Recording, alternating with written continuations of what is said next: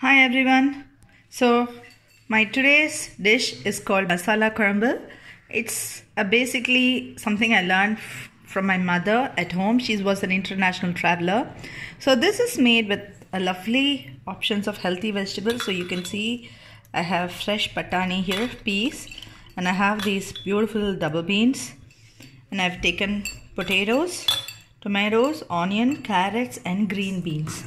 And to grind this, you need one large onion, a few cloves of garlic, a few cloves, uh, a few um, pieces of ginger and green chili. So keep it separate. And for this dish, you definitely need coconut milk. It's a very healthy option. So luckily, I had a stock of this Kara coconut milk. And you can also make coconut milk at home if you have abundance of coconuts.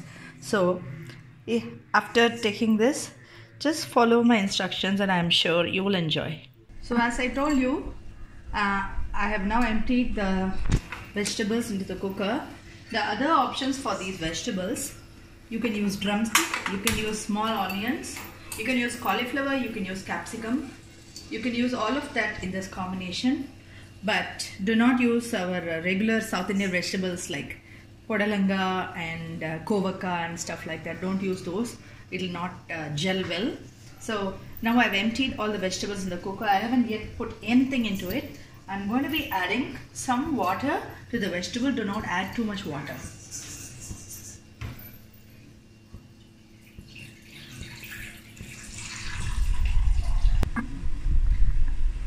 I'm adding a, a bowl of water to this. Do not add too much water because we are going to be cooking this entire vegetable with coconut milk. And as you can see, I have uh, emptied the contents of the um, things for the masala needed. So as I said, it has onion, garlic, uh, green chilies and ginger in this. Make this into a fine paste like you will normally do for a good chutney. So here I'm cooking fresh basmati rice with a pinch of ghee and salt and my sabji is now going to be cooked. Okay, the thing I want to use is add some rock salt.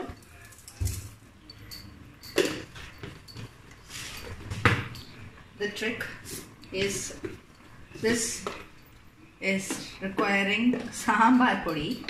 So for this amount of vegetables you can use two heaps of sambar podi sambar powder and I make my own sambar powder. Most of us still do. So the vegetables are cooking. Now I'm going to empty half the tin of the coconut milk into it now okay?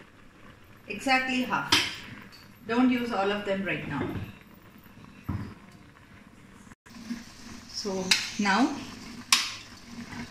I'm going to mix the sabji very well.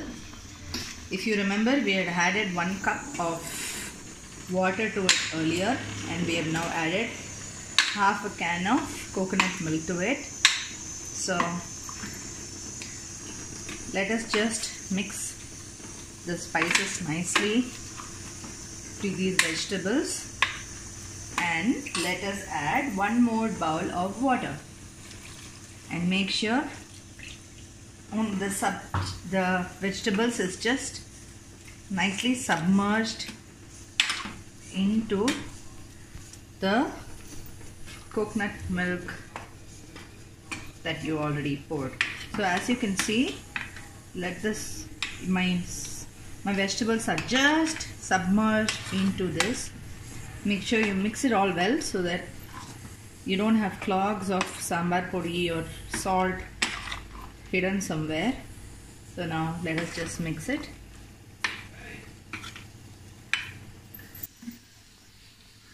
So now we are going to wait until all these vegetables are half boiled. And let us keep the cooker in sim and wait at least for another 15 minutes for all the vegetables to be boiled nicely. Um, before uh, we wait for those 15 minutes, do you remember the paste that we have? So I have now made it into a very fine nice paste. which is garlic, onion,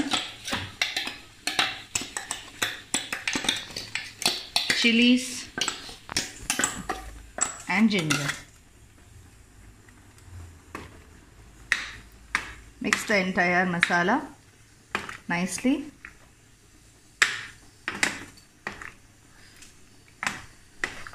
And let it cook.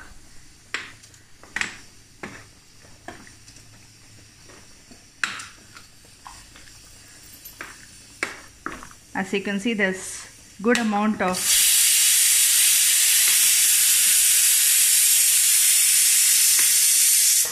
good amount of coconut milk that's enough to cook the vegetables so my next one will be I'm also going to empty this masala and drop it into the sabji make sure you don't add too much water to it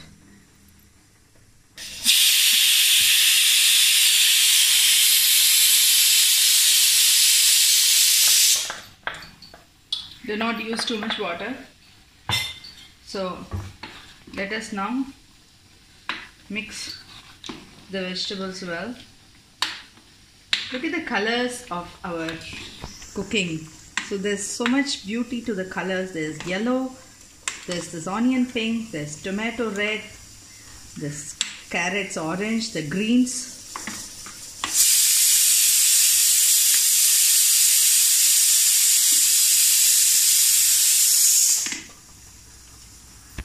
So let us now wait for this to cook for like at least 15 minutes in medium flame. So now it's been almost 15 minutes and the uh, heat wasn't medium. So I think the vegetables are all cooked because I can smell a very lovely aroma. So remember I had the remaining coconut milk. Now I'm going to pour it. Remember this milk um, you can do it also at home. So but today I have nothing at home Please top it with a bunch of fresh coriander, cilantro leaves, kotamari leaves and uh, and just mix it well. So it actually smells very good from this side. So you can make it with the vegetables that you have instead of a regular kootu you can make it this way so the only masala I've added was the sambar podi and the fresh ground paste. No other garam masala has to be added in it. This can be eaten as it is, but because it, I'm making it a South Indian style, I'm going to add some mustard seeds to this mixture. So I have now added some ghee. We'll wait for the ghee to get little heated up and then we're just going to add some mustard seeds, regular way, how we do it for our other South Indian dishes. So,